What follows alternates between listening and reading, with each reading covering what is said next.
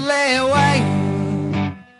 ah, I can hardly wait. Ah, I can